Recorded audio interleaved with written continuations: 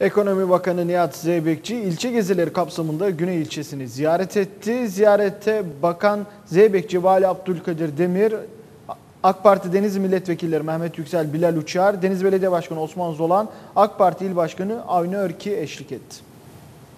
İlçe meydanında vatandaşlara seslenen Bakan Zeybekçi, bakanlık atamasının ardından bütün ilçeleri ziyaret ediyorum. Bu gururu sizlerle paylaşıyorum. Sizlerle kucaklaşmaya geldim dedi. Allah'ın izniyle bundan sonra da bundan sonra da bu yolda bu yolda devam edeceğiz.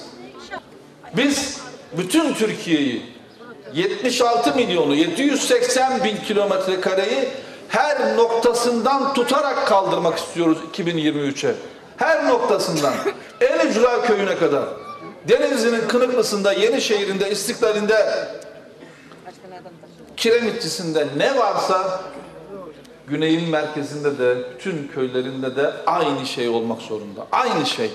Gençlerimizle, çocuklarımızla benim memleketim her ne zaman biraz böyle kalkınmakla ilgili hızını arttırdı.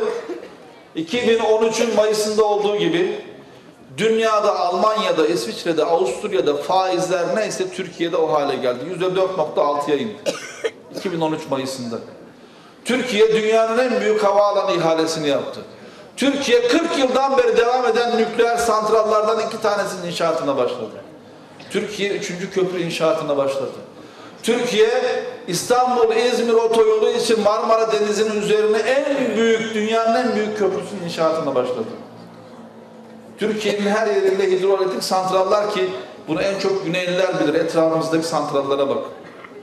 Türkiye 40 yıldan beri, 50 yıldan beri IMF'nin kapısında borç ödeyen Türkiye 14 Mayıs 2013 günü en son taksidini de IMF'ye de ödedi.